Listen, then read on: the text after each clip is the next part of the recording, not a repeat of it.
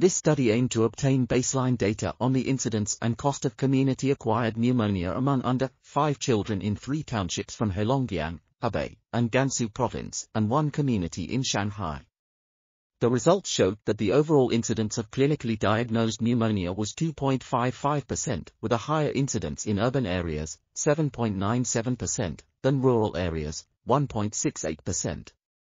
No difference was found in the incidences of chest X-ray confirmed pneumonia between urban and rural areas. The hospitalization rate of all cases was 1.4%. Incidence and hospitalization rates decreased with age, with the highest rates found among children younger than one year and the lowest among children aged four. The total cost due to pneumonia for the participants was 1,138,733 Chinese yuan, with an average cost of 5,722 Chinese yuan and a median cost of 3,540 Chinese yuan. Multivariate analysis showed that hospitalization was the only factor related to higher cost.